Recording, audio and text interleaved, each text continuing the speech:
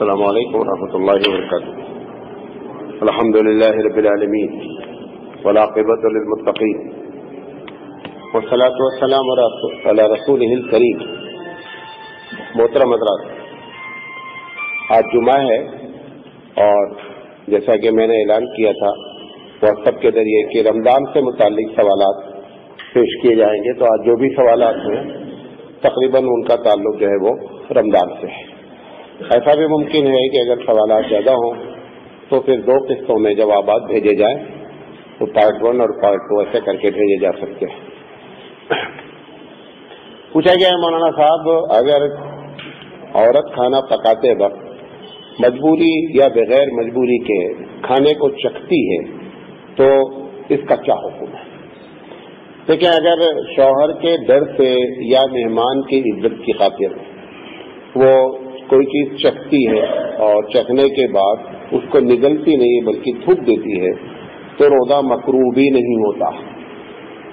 روزہ مکرو بھی نہیں ہوتا، ایک بات۔ اسی طریقے سے اگر وہ جان بوجھ کر کے بغیر کسی وجہ سے بھی چکھتی ہے اور چکھنے کے بعد تھوک دیتی ہے اور حلق میں نیچے وہ چیز نہیں جاتی ہے، تو ایسی شکل میں روزہ مکرو نہیں ہوتا۔ لوگ یہ سمجھتے ہیں کہ روزہ مکرو ہو جاتا ہے، روزہ مکرو نہیں ہوتا ہے۔ پوچھا گیا مولانا صاحب، اگر بلڈ چڑھایا جائے تو کیا حکم ہے؟ ایک ہوتا ہے خون کا دینا کسی کو، ایک ہوتا ہے خون کا کسی کو ڈونیٹ کرنا۔ تو جو کہ خون کا ڈونیٹ کرنا جائز ہے، اگر کسی آدمی کو خون چڑھایا جا رہا ہے روزے کی حالت پہ، کسی وجہ سے ایسی شکل میں اس کو خون کا چڑھایا جانا جائز ہے، روزہ نہیں ٹوٹے گا۔ اسی طریقے سے اگر کسی وجہ سے روزہ ٹوٹنے کا پہلے فلسفہ سمجھ لے تو آپ کو ڈاؤٹ نہیں ہوگا۔ روزہ کا فلسفہ ہے ڈائریکٹ میدے میں یا پیٹ میں کسی چیز کا جانا۔ جو یہ بلڈ چڑھایا جا رہا ہے، یہ آپ کے رگوں میں دوڑتا ہے، آپ کے میدے میں یا پیٹ میں نہیں پہنچتا ہے۔ اس بنیاد پر یہ حکم لگایا جاتا ہے کہ روزہ نہیں ٹوٹے گا۔ اسی طریقے سے اگر کوئی آدمی نے کوئی چیز خون نکالا ہے ڈونیٹ کرنے کے لیے تو بھی اس کا روزہ نہیں ٹوٹتا ہے۔ پوچھا یہ مولانا صاحب، فرانس سے سوال آیا ہوا ہے کہ روزے کی حالت میں لپسٹک کا کیا حکم ہے؟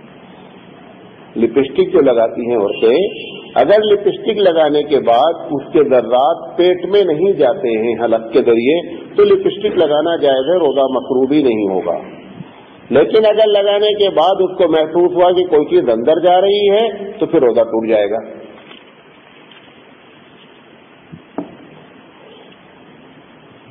اچھا ایک سوال آیا ہوا ہے کہ مولانا، میں جس شہر میں رہتا ہوں، وہاں پر شہری کے ختم ہونے کا وقت کیلنڈر میں الگ الگ رہتا ہے۔ کسی میں پتا چلا پانچ بجے ہے، کسی میں چار چالیس ہے، کسی میں مطلب پانچ سے دس منٹ کا ڈفرنس کیلنڈروں میں عموماً ہوتا رہتا ہے۔ تو وہ پوچھ رہا ہے کہ مولانا، میں کس کیلنڈر کا اعتبار کروں؟ بات سمجھے میری اس میں جو ہے، اس بات کا دھیان رکھا جائے کہ نیٹ کے ذریعے یا آپ کیلنڈر کے ذریعے یہ نہیں ایگزیکٹ معلوم کر سکتے کہ صبح صادق کب ختم ہوتی ہے، یہ معلوم نہیں کیا جا سکتا ہے۔ یہ جو لوگوں نے دس پانچ منٹ کا فرق آیا، تو اس کو آپ کو ایک کسوٹی بتا رہا ہوں۔ وہ یہ ہے کہ سورج نکلنے کا ٹائم آپ اپنے شہر کے لحاظ سے دیکھ لیں۔ جو سورج نکلنے کا ٹائم ہے، اس سے ٹھیک ایک گھنٹہ بیس منٹ پہلے جو جو چارٹ بتا رہا ہے وہ صحیح ہے بقیہ غلط ہے۔ ایک گھنٹے بعد۔ سورج نکلنے کا جو ٹائم ہے، اس سے ون آور ٹوینٹی منٹ پہلے جو ختم کر رہا ہے فیری وہ صحیح بات کر رہا ہے اور بقیہ لوگوں نے بدی احتیاطی کی ہے اور کیلنڈر صحیح نہیں چھاپا ہے۔ تو پتا چلا کہ کیونکہ ہمارے پاس جتنی بھی نمازوں کے اوقات ہیں، ان سب کا بیس سورج ہے۔ سب کا بیس کیا ہے؟ سورج ہے۔ جیسے سورج ڈوبنے کے ایک گھنٹہ بیس سے پچیس منٹ یا پندرہ سے پچیس منٹ کے بعد عشاء کا وقت شروع ہوتا ہے۔ جس ٹائم بھی سورج جس علاقے میں ڈوبے گا، وہاں سے ہم کیلکولیٹ کریں گے۔ ٹائم پہ ہم کبھی نہیں بتا سکتے کہ سات بجے مغرب کا وقت شروع ہوتا ہے۔ نہیں۔ تو ہمیشہ بیس کرتا ہے سورج کا ڈوبنا۔ اگر ایسا اختلاف آپ کو نظر آ رہا ہے، تو پھر ایسی شکل میں آپ اس کے ذریعے یہ پتا لگا سکتے ہیں کہ کون سا کیلنڈر صحیح ہے۔ اب چونکہ ان کو دیر تک کھانا ہے، تو ان کو وہ والا کیلنڈر صحیح لگتا ہے جس میں ٹائم زیادہ لیتا ہے۔ یہ نہیں کرے اور آسان رحمت اللہ علیہ فرماتے ہیں کہ عبادت میں حزب نفس نہیں چلتا۔ حزب نفس کہتے ہیں دل کی خواہش۔ تو دل کی خواہش کو نہیں، بلکہ مسئلے کی حقیقت کو سمجھنے کی پوچھے پوچھا جائے مولانا صاحب، کیلنڈر میں جو وقت شہری ختم ہونے کا لکھا ہے، اس کے پانچ منٹ تک جان بوجھ کر میں نے کھانا کھایا، تو کیا حکم ہے؟ جو کیلنڈر میں وقت لکھا ہے، اگر آپ کو یہ معلوم ہے کہ ایگزیکٹ ایک گھنٹہ بیس منٹ تک کا ٹائم دیا گیا اور اس کے بعد آپ جان بوجھ کے کھا رہے ہیں، اب روزہ نہیں ہوگا۔ اور اگر آپ کو معلوم ہے کہ نہیں صاحب، اس میں پانچ منٹ جان بوجھ کر احتیاط بعض کیلنڈر والے پہلے لکھتے ہیں اور سورج نکلنے کے ٹائم پہ جب آپ نے ٹیلی کیا تو پانچ منٹ کا ڈفرنس آ رہا ہے تو ایسی شکل میں بھی جو ہے تب روزہ جو ہے ہو جائے گا، لیکن اگر وہ اسے معلوم ہے کہ ایک گھنٹہ بیس منٹ تک ایگزیکٹ لکھا ہے تو پھر ایسی شکل میں روزہ نہیں ہوگا۔ کہا جائے مولانا صاحب، آج کل مسجد میں رات کے دو بجے سے نوجوان لوگ رمضان میں شہری جگانے کی نیت سے نعت، غزل، حمد وغیرہ پڑھتے ہیں۔ اور یہ سمجھ کر پڑھتے ہیں کہ اس سے بڑا ثواب ملتا ہے اور ہم جگانے کا کام کر رہے ہیں۔ ایسی شکل میں اس کا کیا حکم ہے؟ یہ گناہ کبیرہ ہے، چھوٹا نہیں۔ کیوں؟ کیونکہ اس نے مائک لگا رکھا ہے باہر۔ اور باہر مائک میں ہو سکتا ہے پورا گاؤں مسلمان ہی کا ہو۔ یہ بھی ہو سکتا ہے کہ پورا ایریا یا پورا گاؤں جہاں تک آواز جا رہی ہے مسلمان ہی۔ اس میں بھی بوڑھے ہو سکتے ہیں جن کو شہری میں نہیں اٹھنا ہے۔ اس میں مریض ہو سکتے ہیں جن کو شہری میں نہیں اٹھنا ہے، اس میں عورتیں ہو سکتی ہیں جن کو شرعی ادرے نہیں اٹھنا ہے۔ آپ کی وجہ سے جتنے لوگوں کو تکلیف پہنچ رہی ہے، ان سب کا گناہ تمہارے اوپر۔ تمہاری وجہ سے جتنے آدمی جگے، ان کا ثواب تو اپنی جگہ، کیونکہ وہ نہ کوئی سنت ہے جگانا کسی کا، اور نہ حدیث سے ثابت جگایا جائے۔ ٹھیک ہے، آپ ایک والنٹری طور پر جگا رہے ہیں۔ لیکن حدیث میں یہ تو منع ہے نا کہ اپنی ذات سے کسی انسان کو تکلیف نہیں پہنچانا چاہیے۔ اور اگر علاقہ غیروں کا بھی ہے، زیادہ تر تو ایسے ہی معاملہ ہے کہ آپ کی آواز غیروں تک بھی جاتی ہے۔ تو ایسی شکل میں جو ہے، وہ حرام ہے اور حرام کام کر کے کوئی آدمی اس ثواب کو جب مائنس کرے گا تو اس کو پتا چل جائے گا ہم کہاں کھڑے ہیں۔ اب اس میں اس نے ایک اشکال بھی لکھا ہے۔ اس نے کہا مولانا، فجر کی نماز میں بھی ڈسٹرب ہوتا ہے غیروں کو۔ اس نے لکھا ہے کہ فجر کی نماز میں بھی ڈسٹرب ہوتا ہے غیروں کو۔ اس کو یہ معلوم ہے کہ اس کا جواب یہی آئے گا۔ تو لکھا ہے کہ فجر کی اذان جو دی جاتی ہے، اس سے بھی غیروں کو ڈسٹرب ہوتا ہے۔ دونوں میں زمین آسمان کا فرق ہے۔ سب سے پہلی بات یہ ہے کہ جو فجر کا وقت ہوتا ہے، اس میں سب مذہب والوں میں لکھا ہے کہ صبح کا اٹھنا اچھا ہے۔ وہ وقت اگر ایک آدمی پہلے سے صحیح ٹائم پر سویا ہے تو وہ خوش ہوگا کہ اذان ہو گئی اور ہم اڑ گئے، بھلے اس کو نماز میں جانا ہو نہیں جانا ہو۔ جو ڈھائی بجے سویا ہوگا، ٹینشن اس کو ہوگا۔ تو غلط کام کرنے والے کو اگر صحیح چیز سے ٹینشن ہوتا ہے تو لیٹ دم ٹینشن ٹینشن ہونے دیجیے اس سے کوئی فرق نہیں پڑتا ہے۔ لیکن جو شہری جگائی جا رہی ہے، وہ دو بجے سے شروع کیا جا رہا ہے، وہ اٹھنے کا ٹائم نہیں ہے۔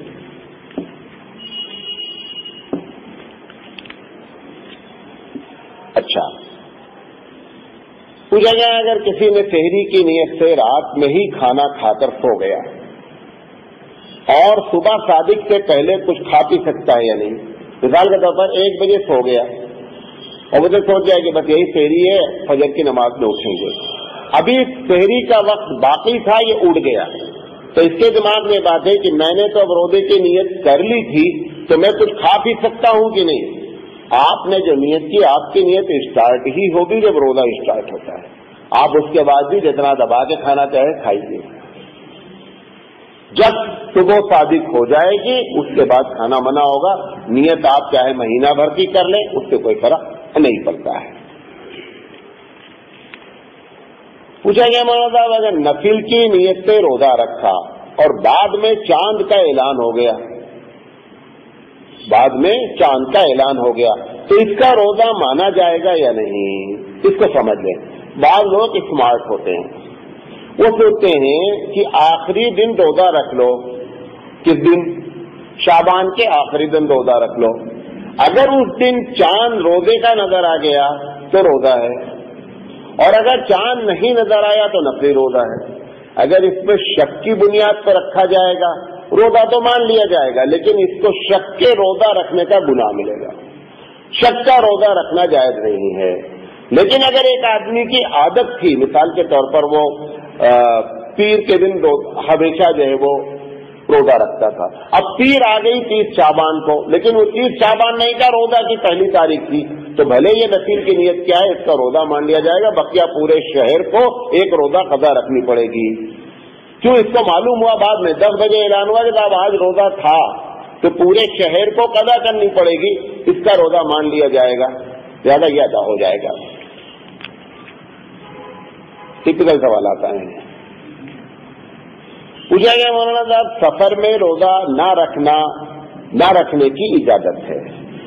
میں نے یہ سوچا کہ لاؤ، جو ہمارا نفلی روزہ ہے، اس کو رکھ لیں۔ تو کیا رمضان کے مہینے سفر میں ہم نفلی روزہ سمجھ سکتے ہیں نہیں؟ سمجھ لیں بات؟ سفر میں جا رہا ہے اور اس کو معلوم ہے سفر میں روزہ رکھنے کی۔ سب سے پہلی بار جب تم کو روزہ رکھنے کی طاقت ہے تو فرض پہلے ادا کرو۔ اچھا چونکہ مسئلہ یہ ہے کہ فرض روزے کے درمیان میں کوئی نفلی روزہ نہیں ہوتا ہے، لیکن یہ چونکہ سفر کی حالت میں لہٰذا اس کا نقلی مانا جائے گا فرد نہیں مانا جائے گا۔ تو یہ الٹا کام کر رہا ہے۔ ڈالڈا رکھا ہوا دیسی جی رکھا ڈالڈا کھا رہا بے مطلب کا پوچھا جائے مولانا، نیت کب تک کرنا لازم ہے؟ نیت جو روزے کی کی جاتی ہے۔ اچھا اس سلسلے میں ایک بات اور سمجھ لیں۔ یہ جو آپ لوگ نیت کرتے ہیں، بے سو میں غدین نوئی تو مین شاہری رمضان یا فی شاہری رمضان، یہ نیت مانا کے لحاظ سے بھی غلط، شرعی لحاظ سے بھی غلط۔ کیوں؟ میں نیت کرتا ہوں کل روزہ رکھنے کی اور روزہ آج رکھ رہے ہو۔ نہیں سمجھے بات۔ مغرب سے ویسے ہی شرعی لحاظ سے دن کیا ہو گیا ہے؟ چینج ہو گیا۔ انگریزی لحاظ سے بھی چینج ہو گیا۔ اب یہ بندہ چار بجے کھانا کھا رہا ہے اور کہہ رہا ہے میں نیت کرتا ہوں کل کے روزہ رکھنے کی۔ یہ کہیے، یہ کیسا روزہ ہے؟ کیسی نیت ہے؟ یہ ایسا کیوں ہوا؟ کیونکہ حبیب مصطفیٰ نے بتایا نہیں تھا۔ اس نے ماری ڈنڈی۔ وہ پولیس ڈپارٹمنٹ نے پکڑ لیا کھٹ سے جناب یہ ڈنڈی ماری گئی ہے، تو چور جو چوری کرتے ہیں، پولیس والوں کے لیے ثبوت چھوڑ کے جاتے ہیں۔ تو یہ نیت جو پہلی بات تو حدیث سے ثابت نہیں ہے، کرنا بھی نہیں چاہیے۔ نیت نام ہے ہمارے نزدیک اہل سنت والجماعت کے نزدیک۔ نیت نام ہے دل کے ارادے کا۔ آپ نے نیت کر لیا کہ میں شہری میں اٹھے۔ شہری جو ہے وہ غزل گانے کے لیے نہیں کھائی جاتی ہے۔ ڈانس کرنے کے لیے شہری نہیں کھائی جاتی۔ شہری کھائی جاتی روزہ رکھنے کے لیے۔ آپ شہری کے لیے اٹھ گئے، آپ کی نیت ہو گئی۔ جیسے کوئی آدمی وضو کے لیے گیا کہ اب زہر کی نماز پڑھنے وضو کے لیے آ گیا۔ اب وہاں پہ جا کر کے وہ یہ کہنا بھول گیا، میں نیت کرتا ہوں چار رکعت نماز فرض واسطے اللہ تعالیٰ کے، منہ میرا طرف کعبہ کے اور پیچھے اتمام کے، آگے فلاں کے۔ اگر اس نے دوہر کے بجائے وہ اثر کہہ دے تو بھی کوئی فرق نہیں پڑتا۔ اور جو کہہ رہا ہے وہ بھی غلط ہے، کوئی شریعت پہ ایسی نیت نہیں ہے۔ پٹھانوں میں تو یہ مشہور ہے کہ اگر امام نے نیت پیچھے والوں کی نہیں کی تو کسی کی نماز ہی نہیں ہوگی۔ اس لیے امام سے بہت ڈرتا رہتا ہے۔ جو سرحد کے علاقے کے پٹھان ہیں وہ بہت ڈرتے رہتے ہیں کہ امام سے پنگا نہیں لو۔ کیونکہ اگر اس نے نماز میں نیت کر لیا کہ پیچھے فلاں فلاں کی نماز نہیں، وہ خارج نماز سے۔ میں دبئی میں جب رہتا تھا تو ایک دکان تھی بلینکٹ کی، پٹھان اور ایرانی۔ یہ لوگ تجارت بھی بہت کرتے ہیں۔ لیکن کتنا بارگننگ لے کے چل رہے ہیں، اس کا آپ اندازہ نہیں کر سکتے۔ مطلب ہو سکتا ہے پانچ گنا زیادہ بول رہے ہوں۔ تو وہ بولتے ہیں، تو پھر لوگوں کو معلوم، لمبی چوڑی بات ہے۔ تو میں نے اس سے کہا کہ یہ بلینکٹ اتنے میں ہے۔ میں اس مسجد میں کبھی کبھی نماز بھی پڑھاتا تھا جہاں اس کی دکان تھی۔ تو اس نے کہا، نہیں مولوی صاحب، ہم نے کہا تو معلوم ہے یہاں نماز پڑھا میں تمہاری نیت نہیں کروں گا۔ اس نے کہا، کمبل تو فری لے جاؤ مولانا، لیکن نیت ہماری کر لے پلیز ہماری نیت کر لینا۔ تو یہ جو بات سب لوگ نماز میں یہ کہتے ہیں چار رکعت فلاں فلاں، یہ کسی حدیث میں نہیں لکھا ہے۔ بس لوگوں نے اس کو ناجائز کا ہمارے یہاں فتوا نہیں دیا گیا، اس کی وجہ سے لوگ اس کی طرف آگے بڑھ گئے، ورنہ یہ سندر سے ثابت نہیں ہے۔ تو پوچھا گیا ہے مولانا، نیت کب تک کرنا لازم ہے؟ دیکھیے زوال آفتاب سے پہلے پہلے روزے کی نیت کرنا لازم ہے۔ اس آدمی کے لیے بھی جس نے نیت کی ہی نہیں ہے۔ امام مالک رحمۃ اللہ علیہ کے نزدیک اگر پہلے دن ہی پورے مہینے کی نیت کر لے، تو ان کے نزدیک وہ بھی جائز ہے کہ اب بروز آنا نیت کرنے کی ضرورت نہیں ہے۔ بس آدمی سو گیا، نہیں اٹھا، کچھ بھی ہو، پورے۔ امام پر رحمۃ اللہ کا کہنا نہیں ہے۔ ڈیلی نیت کرنا ہے اس کو۔ کیا کرنا ہے؟ خود آپ تحری کے لیے اٹھ رہے ہیں، روزہ رکھنا ہے، یہی نیت ہے۔ نیت زبان کا نام نہیں اور وہ والی تو پلیز قطعی نہیں کرنا، وہ تو غلط ہے نیت۔ کہ بے سو میں قدیم نہ تو کل کی نیت میں کر رہا ہوں اور روزہ آد رکھ رہا ہوں۔ وہ اگر اس کو صحیح معنی میں اللہ ریکارڈ کر دے تو سارے تمہارے روزے ختم ہیں۔ کیونکہ تم تو دوسرے دن کی نیت ہی نہیں کر رہے ہو، دوسرے دن کی نیت کر رہے ہو اور دوسرا دن ابھی شروع ہی نہیں ہوا ہے۔ لہذا نیت کی پوچھا گیا ہے، کیا ایک ماہ کی نیت کی جا سکتی ہے؟ امام ابونیفا جیسا بتایا، نہیں کی جا سکتی ہے۔ کیا شہری میں اٹھنا نیت کے مترادف ہے؟ شہری میں اٹھ گیا۔ اس کا مطلب اس کی نیت ہے تبھی یہ اٹھا ہے۔ کیا رات میں نیت کرنا کرے تو کافی ہو جائے گا۔ یعنی رات میں لیٹتے وقت کہ میں انشاءاللہ صبح فجر میں اٹھوں گا تو چونکہ اب دن شروع ہو گیا ہے، زیادہ اس کی نیت کیا ہے؟ مان لی جائے گی۔ نیت کا مستحد وقت کون سا ہے؟ بہترین وقت اس کا وقت ہے جب آپ تیری کھا رہے ہیں۔ تیری کھانے کے لیے اٹھ رہے وہی اس کا بہترین وقت ہے۔ پوچھا گیا ہے مولانا صاحب، بعض روزے دار رمضان مبارک میں دن بھر سوتے ہیں اور رات جاگ کر گزارتے ہیں یہ عمل کیسا ہے؟ روزہ ہو جائے گا۔ روزہ مان لیا جائے گا کہ روزہ اس کا ادا ہو گیا۔ قبولیت کے لیے کوئی ضروری نہیں ہے کہ قبول ہو روزہ، لیکن ادا ہونا خود ایک بہت بڑی بات ہے۔ مطلب چھوڑنے والوں سے تو بندہ کیا ہے؟ یہ بہتر ہے۔ صحیح حدیث ہے۔ کہ اگر ایک آدمی جان بوجھ کر روزہ چھوڑ دے، وہ انسان کل۔ اور پوری زندگی روزہ رکھے، ایک روزے کے بدلے میں گیارہ مہینہ لگاتار روزہ رکھتے رہے اور اسی میں مر جائے، تو بھی ایک روزے کا ثواب پوری زندگی کا روزہ کور نہیں کر سکتا جو نقلی روزہ ہے۔ فراہتن حدیث ہے، وہ انسان دہر کل۔ کی پوری زندگی روزہ بعض لوگوں نے ترجمہ کیا وہ انسان دہر کلو قیامت تک زندہ رہے اور روزہ رکھے تو بھی ایک روزے کا ثواب نقلی روزہ نہیں کر سکتا ہے۔ فرد فرد ہوتا ہے، نفل نفل ہوتا ہے۔ دبئی سے سوال آیا ہوا ہے کہ مولانا صاحب، میری اہلیہ کی طبیعت بہت خراب ہے اور ڈاکٹر لوگ کہہ رہے ہیں، بیماری ہے بیچاری اللہ ان کو صحت ہے ہمارے دوست ہیں۔ تو ان ان کو ڈاکٹر کہہ رہا ہے کہ آپ روزہ رکھنے کی پوزیشن میں نہیں ہیں۔ تو ان کا سوال یہ ہے کہ کیا ہم فدیا دے دیں یا اس کی روزہ؟ دیکھیے، جو بیمار وقتی طور پر ہوتا ہے بندہ، اگر اس کو یہ ایکسپیکٹ ہے کہ میں آنے والے دنوں میں یہ بیماری کبھی ختم ہی نہیں ہوگی، تب تو ایسی شکل میں کیا ہے؟ اس کو فدیہ دے دے جیسے بڑھاپا ایک بیماری ہے۔ اب یہ نہیں کہ اگلے سال جوان ہو جائے گا۔ اگر اس سال بڑھاپے کی وجہ سے اس کو فدیہ دینا پڑا تو نیکسٹ ایئر اس کی مزید کیا ہونی حالت خراب ہونی ہے۔ لہٰذا اگر وہ پہلے سال میں فدیہ دینے کا حکم دے دیا گیا ہے بڑھاپے کی وجہ سے، تو بڑھاپا ایک ایسا مرض ہے کہ جو کنٹینیو رہنا ہے۔ تو ایسے ہی یہ جو صاحبہ بیمار ہیں، ان کے بارے میں اگر ان کو توقع ہے کہ کچھ دن کے بعد ٹھیک ہو جائیں گے تو فدیہ نہیں ہوگا۔ جب یہ ٹھیک ہو جائیں گے تو اس کی قدا لازم ہوگی۔ اگر ایسی بیماری ہو کہ بیماری ختم ہی نہیں ہونی ہے، تب ایسی شکل میں کیا ہے؟ اس کا فدیہ دینا جائز ہے۔ پوچھا گیا مولانا صاحب، اگر روزے کی حالت میں، یہ اٹھا لیجیے اگر روزے کی حالت میں آنکھ میں دوا ڈالنے سے روزے کا کیا حکم ہے؟ یہ مسئلہ آنکھوں میں دوا ڈالنے سے روزہ نہیں ٹوٹتا۔ لیکن اس مسئلے پہ غور کرنا چاہیے۔ مسئلہ یہی ہے کہ روزہ نہیں ٹوٹتا۔ حالانکہ یہ ایک تجربہ ہے کہ جب آپ آنکھ میں دوا ڈالتے ہیں تو حلق میں فوراً دوا آتی ہے۔ اس کے باوجود بھی روزہ نہ ٹوٹنے کا حکم دیا گیا ہے۔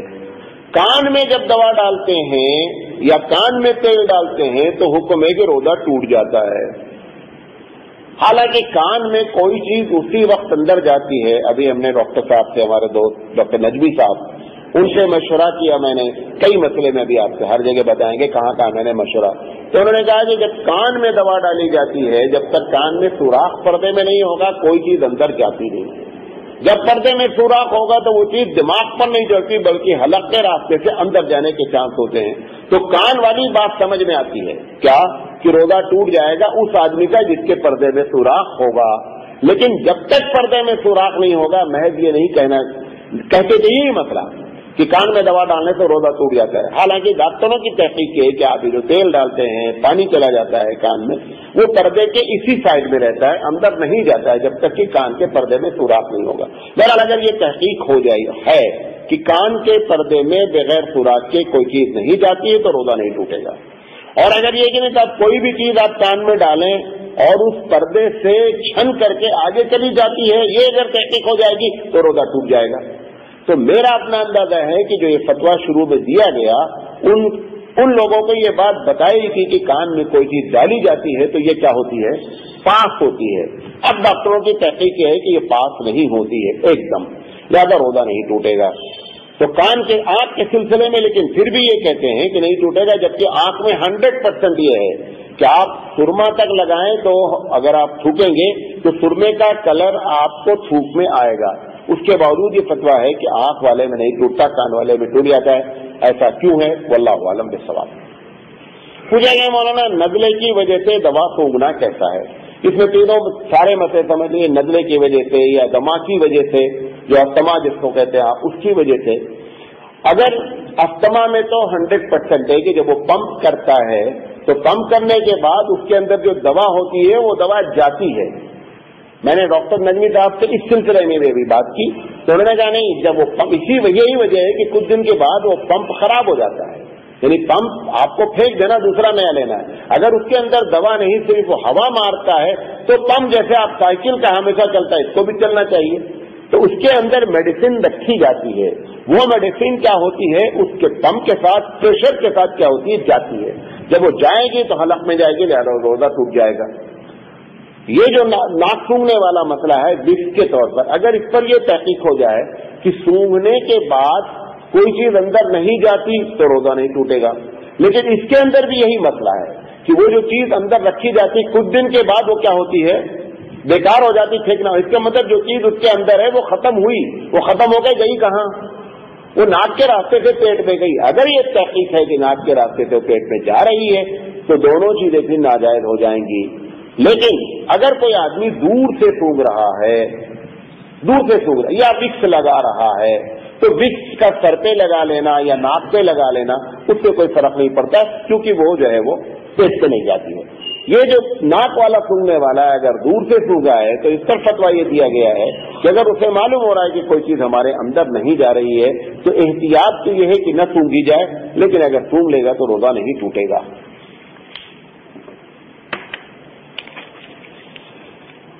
پوچھا گیا مولانا صاحب اگر کسی نے پیاس کی شدت کی وجہ سے روزہ توڑ دیا تو کیا حکم ہے؟ یہ جہاں پہ گرمی زیادہ ہوتی ہے، وہاں کا یہ مسئلہ ہے، دبئی سے آیا ہوا ہے مسئلہ۔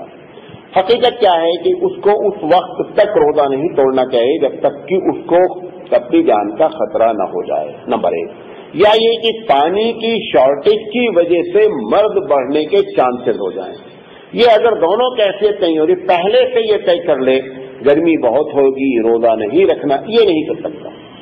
کم سے کم ایک دو روزہ رکھ کر ایکسپیرئنس ضرور کرے وہ۔ ایکسپیرئنس کرنے کے بعد اگر اسے معلوم ہو رہا ہے کہ میں روزہ نہیں رکھ پاؤں گا، اب ایسی شکل میں کیا ہے؟ یہ روزہ چھوڑ سکتا ہے۔ لیکن چھوڑنے کا مطلب یہ نہیں کہ یہ فدیہ ادا کر دے گا۔ نہیں، جب موسم ٹھیک ہوگا، اس کو روزہ رکھنا ہے۔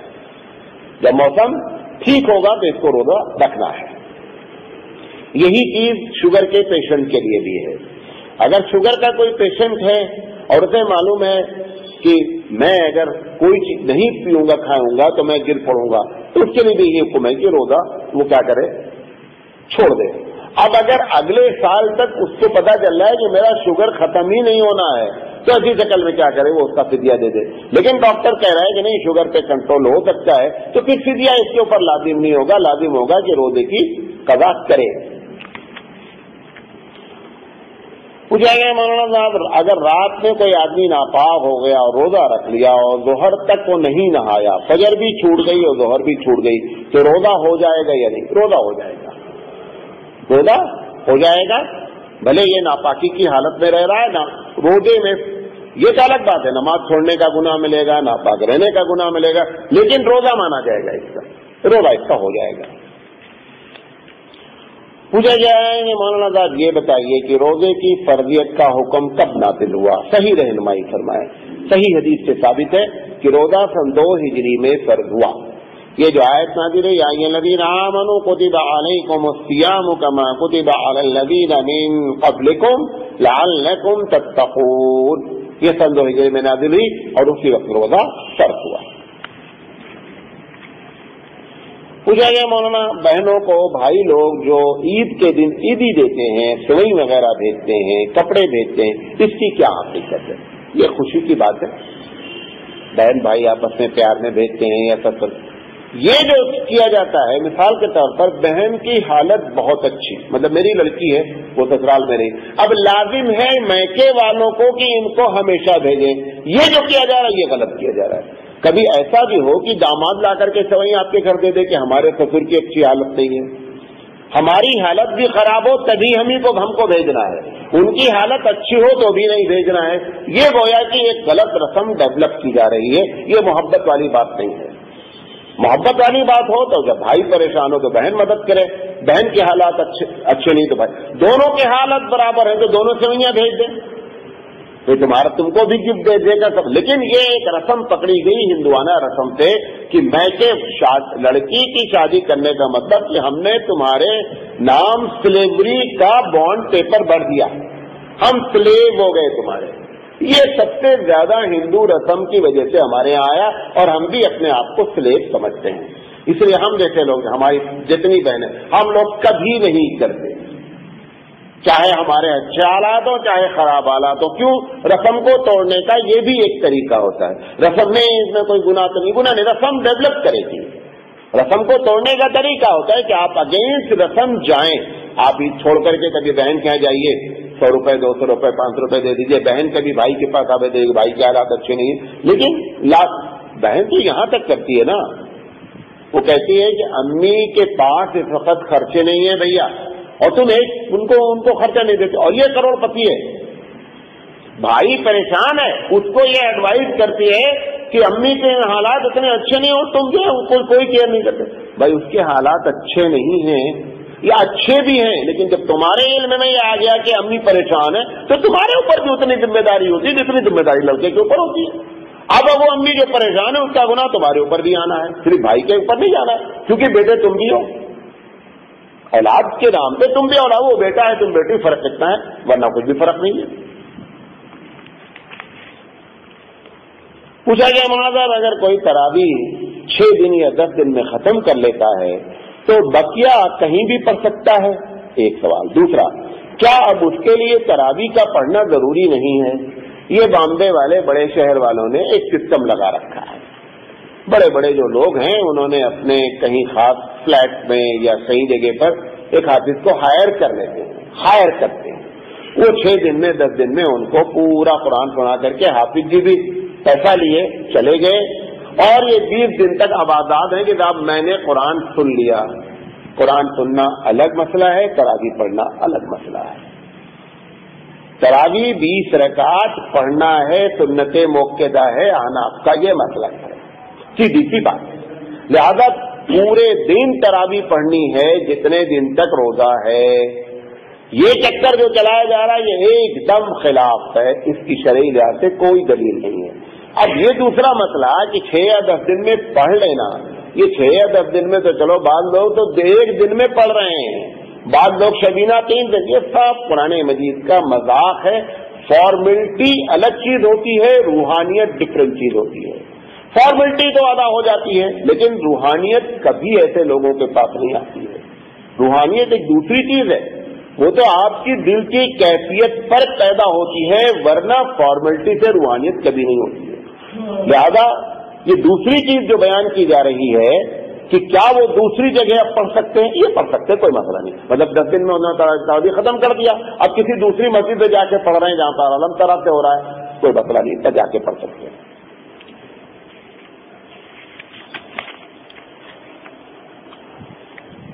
مطلب جو عورتیں روزہ نہیں رکھتی ہیں، ان کا کھانا پینا کھلے عام ہو سکتا ہے یا نہیں؟ گھر میں اگر ایک عورت روزہ نہیں رکھ رہی ہے شرعی عذر کی بنیاد پر، تو اس کو چاہیے کہ وہ کھانا پینا روزے داروں کے سامنے نہیں کرے، ان کا احترام کرنا چاہیے، ان کے سامنے نہیں کھانا چاہیے۔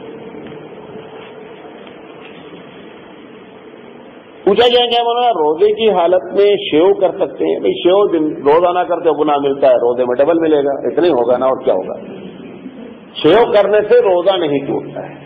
لیکن اگر وہ یہ سمجھ رہا ہے کہ روزہ ٹوٹ جاتا ہے تو غلط ہے۔ گنا گنا ملنا ہی ملنا ہے۔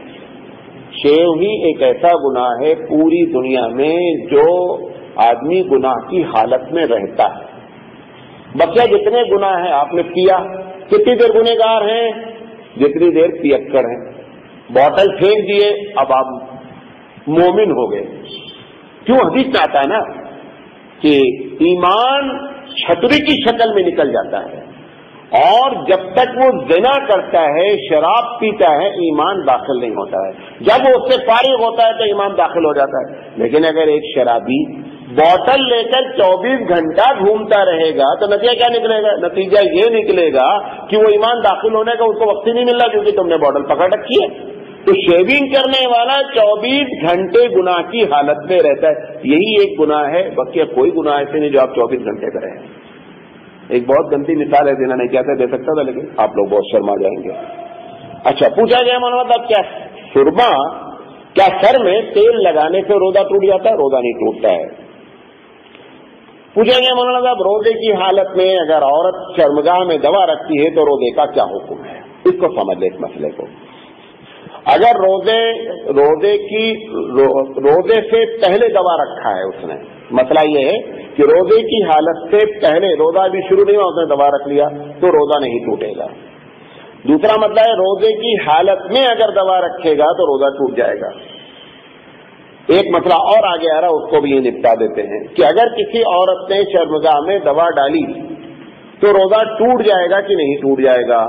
ہمارا جو فتوا ہے، اس پر یہ ہے کہ روزہ ٹوٹ جائے گا۔ وجہ جو لکھی، وہ غلط لکھی ہوئی ہے۔ اگر وہ وجہ نہیں پائی، وجہ کیا ہے؟ ان کا کہنا ہے کہ چرمگاہ میں جب کوئی چیز ڈالی جاتی ہے تو وہ پیٹ میں جاتی ہے۔ میں نے جو ڈاکٹر نجمی صاحب کا نام لیا، جو سرجن بھی یہاں کے مشہور، ڈاکٹر نجمی صاحب نے بتایا کہ کوئی شکل نہیں ہے پیٹ میں جانے کی۔ جب شرمگاہ میں کوئی چیز دوا جاتی ہے تو وہ زیادہ سے زیادہ بچے دانی تک جا سکتی ہے، میدے میں نہیں جاتی۔ اگر یہ تحقیق ہو جائے گی تو ہم کو اپنا فتوے سے رجوع کرنا پڑے گا۔ کیا؟ کہ روزہ نہیں ٹوٹتا ہے۔ لیکن اگر یہ معلوم ہو، کوئی ڈاکٹر یہ کہے یا اختلاف ہو اس مسئلے میں جنہیں کا پیٹ میں دوا جاتی ہے۔ اب سوال یہ ہے کہ جب وہ دوا جاتی ہے اور صرف وہیں تک رہتی ہے تو پھر اپنے اثرات کیسے دکھلاتی ہے؟ میں نے یہ ان سے سوال کیا۔ کہ اگر وہ نہیں جاتی، کہیں وہیں تک رہتی ہے تو اثرات کیسے دکھلاتی ہے؟ تو ڈاکٹر صاحب نے بتایا کہ وہ وہاں پہنچ کر کے بلڈ کے ذریعے اپنے اثرات دکھلاتی ہے اور بلڈ کے ساتھ سرکولیٹ ہوتی ہے۔ اچھا بلڈ میں اگر کوئی چیز سرکولیٹ ہوتی ہے تو روزہ نہیں ٹوٹتا ہے۔ زیادہ اس بنیاد پر جو وجہ وہاں پر بنائی بتائی گئی ہے، وہ وجہ تو صحیح ہے اگر جاتا ہے پیٹ میں تو ٹوٹ جائے گا، لیکن چونکہ جاتا ہی نہیں ہے، زیادہ پھر روزہ نہیں ٹوٹے گا۔ پوچھا گیا ہے کہ اگر مولانا کسی عورت نے اپنا حمل چیک کروایا، اب حمل پہلے جو چیک ہوتا تھا، وہ ہاتھ کے ذریعے چیک کرتے تھے۔ اب حمل چیک ہوتا ہے مشین کے ذریعے۔ مشین کے ذریعے چیک کیے تو کوئی مسئلہ ہی نہیں۔ اگر ہاتھ کے ذریعے چیک کیے تو ایک رائے یہ ہے کہ روزہ نہیں ٹوٹے گا۔ ایک رائے یہ ہے کہ اگر چیک کرنے والے کا ہاتھ بھیگا ہوا نکلا تو روزہ ٹوٹ جائے گا۔ اس کے ہاتھ میں نمی آئی، چاہے وہ دستانے پر آئی، چاہے ہاتھ پر آئی، تو بعض لوگوں کا کہنا ہے روزہ ٹوٹ جائے گا۔ لیکن احتیاط کسی میں ہونی چاہیے کہ نہیں کرانا چاہیے، بہت مجبوری ہو جائے تو کرا لیں۔ پوچھا گیا مولانا ماہ رمضان میں روزہ رکھ کر مسواک یا ٹوتھ پیسٹ استعمال کرنا کیسا ہے؟ دیکھیے مسواک کے بارے میں تو کوئی اختلاف ہی نہیں ہے کہ روزہ نہیں ٹوٹتا ہے، بلکہ مسواک کرنا افضل ہے، کوئی مسئلہ نہیں۔ امام شافی علیہ رحمہ کے نزدیک صرف یہ ہے کہ اثر کے بعد مسواک کرنا مکرو ہے۔ وجہ ان کی یہ ہے کہ اللہ نے کہا ہے، حدیث قدسی ہے، کہ روزے دار کے منہ سے جو بدبو نکلتی ہے، وہ اللہ کو مشک سے زیادہ پسندیدہ ہے۔ اب امام شافی علیہ رحمٰ کا کہنا یہ ہے کہ وہ بدبو اثر کے بعد زیادہ نکلتی ہے۔ لہذا وہ بدبو آپ ختم کر دیں گے تو مشک جو اس کو پسند ہے وہ نہیں امام اعظم علیہ رحمان نے کہا کہ بدبو جو پسند ہے وہ میدے سے اٹھنے والی ہے، نہ کہ منہ کی بدبو۔ یہی وجہ اثر کے بعد کیوں زیادہ ہوگی بدبو؟ جب پیٹ زیادہ خالی ہوگا تو وہاں سے جو گیس اندر اندر بنتی ہے، وہ بدبو مارتی ہے۔ تو امام ابونیفا رحمۃ اللہ علیہ کی جو تحقیق ہے، اس میں زیادہ دم ہے۔ کہ اثر کے بعد ہی زیادہ نکلنے کی وجہ میدا مزید خالی ہوا۔ جب خالی ہوا تو وہاں سے گیس نکلی۔ وہ جو گیس نکل رہی وہ منہ والی ہے ہی نہیں، وہ میدے کی ہے۔ اور میدے کی گیسی کے بارے میں یہ بات کہی گئی ہے کہ وہ بدبو۔ ورنہ ان کا کہنا ہے، امام نفا رحمۃ اللہ علیہ کہ کیا، اثر کے بات کرو یا فجر کے بات کرو، کوئی بھی فرق نہیں ہے مسوات کی جا سکتی ہے۔ ٹوتھ پیسٹ کے بارے میں ہے، کچھ لوگوں کی رائے ہے کہ ٹوتھ پیسٹ مکرو ہے، کچھ لوگوں کی رائے ہے کہ مکرو نہیں ہے۔ مکرو جن لوگوں کا کہنا ہے، ان کے نزدیک یہ ہے کہ اس کے اندر جو مینتھول ہوتا ہے، جو ٹھنڈک پن ہوتی ہے، اگر اس کے ذرات جانے کے خطرہ ہیں تو مکرو ہے۔ اور اگر اس کے جیسے بعد ایسے بھی آ رہے ہیں نیچرل یا ہربل، اس میں جو ہے وہ کوئی مینتھول کی کیفیت نہیں ہوتی ہے۔ اس میں وہ ایک مسواک کی طرح ہے، زیادہ اس میں مکرائیت بھی ختم ہو جائے گی، واللہ عالم کے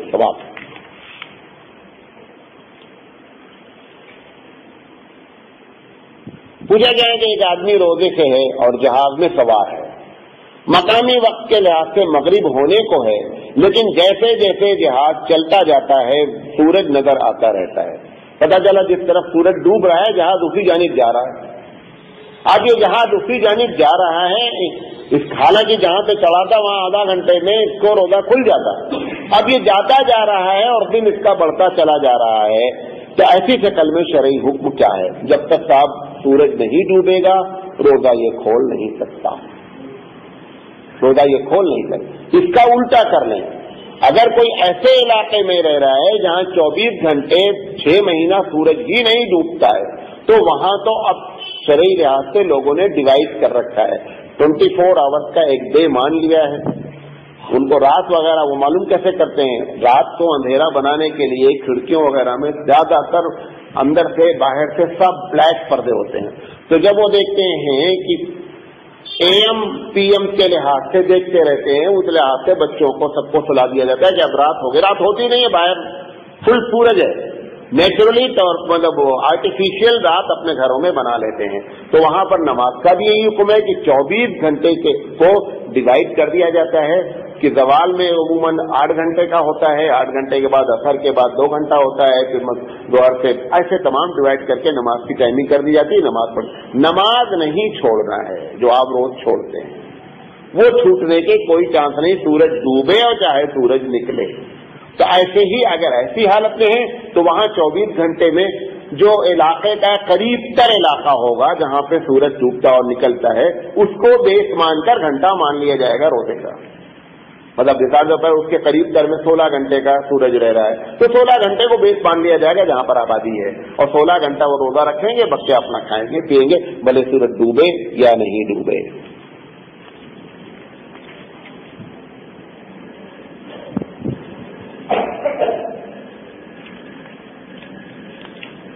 پوچھا گیا مولانا اگر پانی پی رہا تھا اذان ہونے لگی، تو کیا حکم ہے؟ اس بات کو سمجھ لیں ٹپیکل مسئلہ ہے۔ یہ جو آپ کے اذان ہوتی ہے، دو طرح کی اذان ہے۔ مطلب اذان دو طرح کی نہیں ہے اذان دو وقت میں دی جاتی ہے۔ بعض مسجد والوں نے یہ کیا ہے کہ جیسے ہی شہری کا وقت ختم ہوتا ہے اذان دے دیتے یہی صحیح طریقہ ہے۔ کیونکہ اب لوگوں کے مزاج میں اذان تک کھانا ہے۔ بعض مسجدوں میں کیا ہے، شہری کا وقت تو ختم ہو گیا، اذان ہوگی، پندرہ منٹ کے بعد اس علاقے، پورے علاقے والوں کا روزہ وہ برباد کرتے ہیں۔ لہذا تمام لوگوں کو چاہیے کہ جب یہ مزاج لوگوں کا بن چکا ہے کہ اذان کرائٹیریا ہے شہری کے ختم ہونے کا، لہذا جیسے ہی شہری ختم ہو، ایک سیکنڈ فوراً بات کیا کر دی جائے؟ اذان دے دی جائے۔ اب یہ جو مسئلہ پوچھ رہے ہیں کہ مولانا صاحب، میں پانی پی رہا اب پتا چلا وہ اذان پہلے معلوم ہونا چاہیے، وہ اذان کون سی ہے؟ اذان کون سی اذان اگر وہ ہے کہ شہری کے ختم ہونے کے پندرہ منٹ کے بعد ہو رہی ہے، تب تو ایک قطرہ بھی پینا جائز نہیں ہوگا۔ اور اگر وہ ایک ختم ہو رہی ہے اور منہ میں پانی ہے تو اتنا پی لیں، مزید نہ پیئیں عام طور سے اذان فجر کے وقت کے ختم ہونے کے بعد دی جاتی ہے۔ اگر ایسا ہے کہ پورا صبح صادق کا وقت ختم ہو چکا اذان دی گئی ہے۔ تو پھر جیسا میں نے کہا، پھر ایک خطرہ بھی پیے گا تو جائز نہیں ہوگا۔ لیکن ایک بات کا اہتمام مسجد کے ذمہ دار والوں کو کرنا چاہیے۔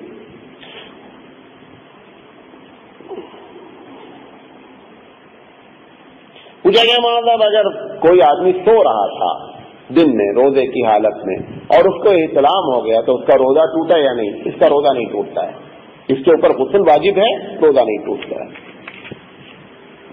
پوچھا گیا روزے کا کفارہ کب کب لازم ہے؟ روزے کا کفارہ جان بوجھ کر کھانے پینے سے اور صحبت کرنے سے روزے کا کفارہ لازم ہو جاتا ہے۔ کفارہ کتنا ہے؟ ساٹھ دن لگاتار روزے رکھنا۔ کبھی ایسی حرکت کرنا نہیں۔ ایک ایک دن کی بات نہیں، وہ ساٹھ دن میں اگر بریک کر دیے تو پھر سے کرنا ہے۔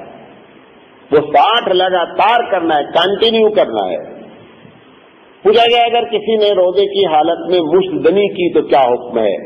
روزے میں مشتدنی کرنے سے روزہ ٹوٹ جائے گا اور کیونکہ لذت محسوس کرے گا، کیا ہے؟ لہذا کفارہ بھی لازم ہوگا۔ پوچھا پوجا صاحب، اگر شہمت کی کوئی تصویر یا مووی دیکھی جس سے انتال ہو گیا، تو قضا ہے یا قضا اور کفارہ دونوں ہے صرف قضا لازم ہوگا، کفارہ نہیں۔ ایک آدمی کو ایسی مووی دیکھ رہا تھا، جس کی وجہ سے اس کو انتال ہو گیا۔ تو ایسی شکل میں کیا ہے؟ اس کے اوپر کفارہ ہے، اے ہے کفارہ نہیں ہے۔ پوچھا گیا مولانا کبھی کبھی کھٹی بیکار آتی ہے۔ رمضان کی حالت میں، خاص کر تحری ویری وقت کے بعد، جس میں منہ میں پانی آیا تو کیا حکم ہے؟ روزہ نہیں ٹوٹتا ہے۔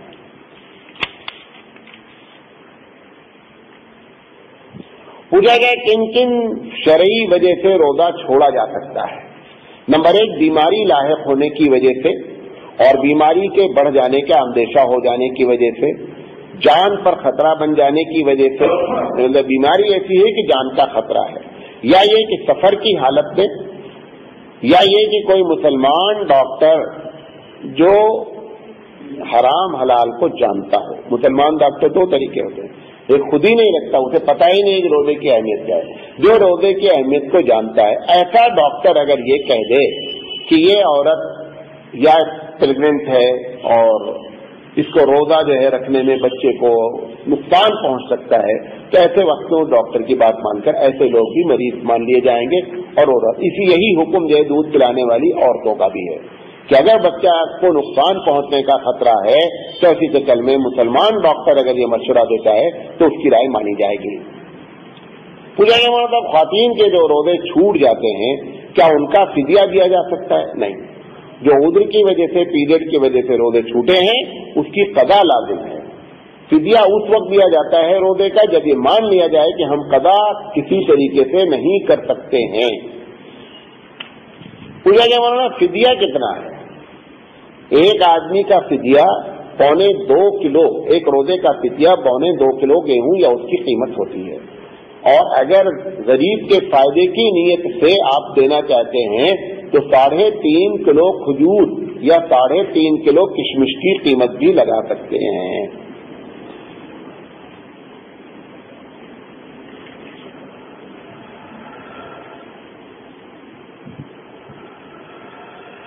پوجا روزے کی حالت میں بیوی کے پاس لیٹنا اور بوسو کنار کرنا کیا روزے کو مکرو کر دیتا ہے؟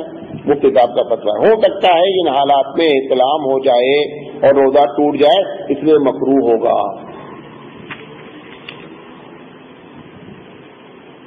پوجا گیا رمضان میں جو روزے چھوٹ گئے ہیں، ان کو کیسے رکھنا چاہیے؟ بہتر تو یہ ہے کہ اگلے رمضان کے آنے سے پہلے پہلے ان روزوں کی قدا کر دینی چاہیے۔ لیکن یہ مطلب نہیں ہے کہ اگلا رمضان آ گیا اور ہم نے نہیں رکھا، آپ سوچو ختم ہو گیا، ختم نہیں ہوتا۔ جیسے ایک آدمی سے آپ نے قرضے کا وعدہ کیا کہ میں پانچ جنوری کو، پانچ مئی کو، جون کو قرضہ ادا کروں گا۔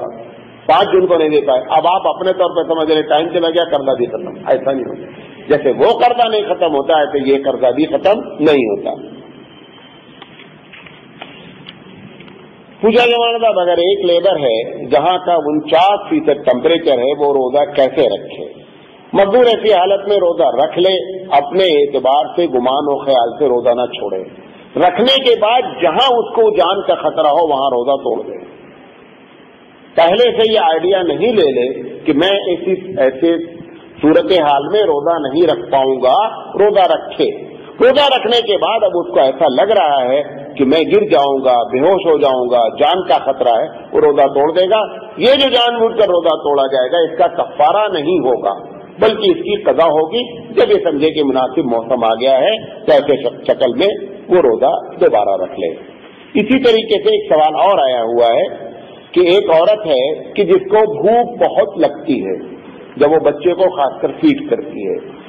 اس کا کہنا یہ ہے کہ میں برداشت ہی نہیں کر سکتی۔ زیادہ یہ مجبور ہے۔ اس کو بھی کیا ہے کہ روزہ چھوڑنے کا اختیار ہے۔ اب فدیہ فدیہ یہ اسی وقت دے گی جب یہ کہ یہ حالت اس کی لگاتار ہو جائے، چاہے فیڈنگ کرائے یا نہیں کرائے۔ اگر بچے کو فیڈ نہیں کرا رہی ہے اور اس کے بعد اس کی کیفیت بدل جاتی ہے، تو ایسی شکل میں فدیہ نہیں دی گی بلکہ روزہ کی قضا کرنا پڑے گا۔ پوچھا گیا ہمارا صاحب، رمضان میں چند باقی ہیں۔ رمضان میں بعض خواتین دوائیاں وغیرہ کھا کر اپنے ایام کو روک لیتی ہیں۔ جو پیریڈ ہے، اس کو آگے پیچھے کر دیتی ہیں کہ تاکہ جو ہے ہمارا روزہ پورا کا پورا مل جائے۔ سب سے پہلی بات تو یہ ہے جو سمجھ لیں کہ ایسی عورتیں جو اپنے قضا کرتی ہیں روزے کی رمضان کے بعد، ان کو وہی ثواب ملتا ہے جو روزے میں ثواب ملتا ہے لہٰذا یہ کرنے کا کوئی فائدہ نہیں ہے۔ اور ایسے کرنے سے صحت کے نقصان ہونے کا پورا خطرہ ہے۔ لیکن اگر کر لے گی تو کر سکتی ہے۔ پوچھا گیا مولانا، شوگر کے مریض کے لیے رونے کا کیا حکم ہے؟ شوگر کے مریض کے لیے بھی یہی حکم ہے کہ اگر وہ سمجھ رہا ہے کہ میں روزہ رکھوں گا تو میرا شوگر بڑھ جائے گا یا لو ہو جائے گا یا میں گر جاؤں گا۔ کم سے کم ایک روزے کا ایکسپیرئنس ضرور کرے وہ۔ پہلے سے اپنے طور پر ڈیسائیڈ نہیں کرے میں رکھوں گا تو یہ بعض لوگ ایسے کر کر کے کر کر کے نفسیاتی طور پر بیمار ہو چکے ہیں۔ زیادہ وہ روزہ رکھیں اور رکھنے کے بعد اگر ان کو ایک کیفیت پیدا ہو تب ان کو چاہیے کہ وہ روزہ چھوڑیں، ورنہ جو ہے نہیں چھوڑیں۔ واخر داوانا الحمد للہ رب العالمین۔ ایک دو سوال جان بوجھ کے جواب نہیں دیا